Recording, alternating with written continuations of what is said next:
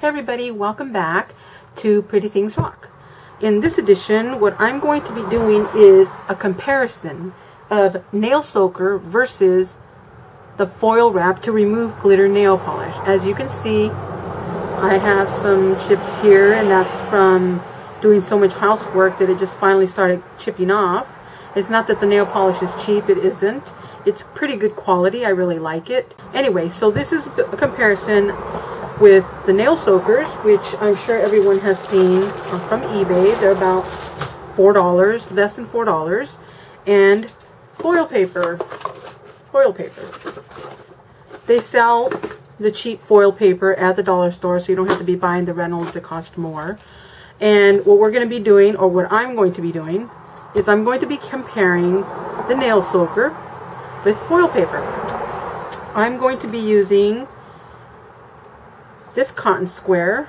I also have this one, so I can use either one, but as you can see, one's thicker than the other. I don't remember if this was a cheaper one or not, but this one's, like I said, thinner. Um, and foil. And before I did that, I just put some um, cuticle oil um, on my nails because I'm going to be using nail polish remover and I just don't want it to be more damaging than everything else is that I use. I'm just using your regular household um, nail polish remover that you can get like at the dollar store or at the supermarket, whatever. And what I'm going to do is I'm going to fill this up with the same amount that I'm going to put on this little um, cotton pad just to see which one is going to hold more. And what I'm going to do with this is I'm going to cut it in four because I really only want to cover the nail bed, the, the whole nail, so I don't need a whole lot. And I want to get on the sides too sometimes because that's that's trouble spots. So you can either cut it in fours and just put it like that, which is what I'm going to do, and try it like that. Whoops. And cut this one again, like that, using scissors, duh. And I'm going to fill this up with nail polish remover. I'm using my eyedropper because I'm such a messy person.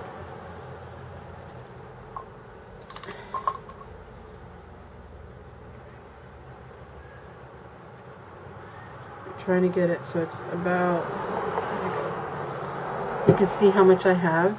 It's right up to here. I don't know if you can see it or not. I'm going to put that in here, which you can see is not very much it barely goes up to here. And that's kind of discouraging. So obviously I'm going to have to use more. So I'm going to put the same amount. Whoops, I have the same amount. In here on this little cotton swab. Soak it up. I'm going to put it on my finger and I'm going to wrap it with this foil nice and tight so all the liquid stays in there. I can feel it squeezing out already too.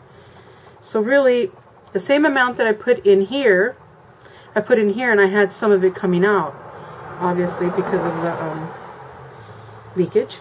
But apparently I'm going to have to use more on this little soaker. So let's see how many more I have.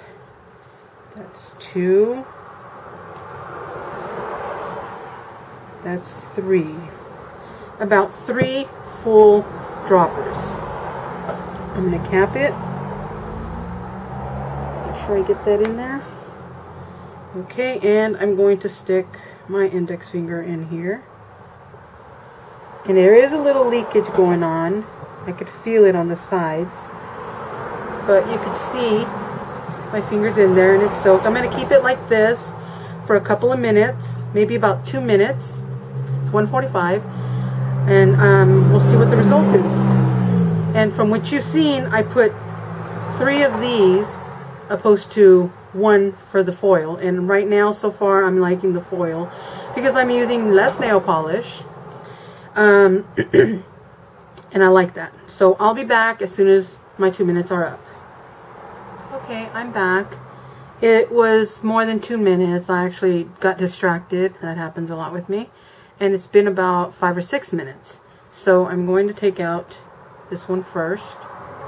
And as you can see, there is still some glitter nail polish on there. It has not cotton came off. And I even wiped it and there's still some there. It did take a couple of layers off, so I'm thinking because I took I put like three or four coats of nail polish that it would probably take longer than two or three minutes. I would probably say 10 minutes. I used this nail polish, Pinky Glitter, and it does come on really thick, so that might be why it took so long. And then here we have the other one, which this is still soaked. And let's wipe it. And you can see that that one came off a lot more than this one, which was which I used the soaker in, and I just used a foil and one of these filled. And with this one, I used three, and I still have a lot of liquid left in there. So I think in the end, personally, in my opinion, I would go with the foil wrap system rather than the soaker. The soaker would probably be good for acrylics, but not for nail polish, especially if you put really thick coats on. So that's my conclusion. I hope this was helpful. There have been other people that have used different things, such as using felt, which I think that probably would not work. Um, another person used um, a nail file. They they soaked it for a while and then they used nail file to take off some of it. I don't think that's a good idea.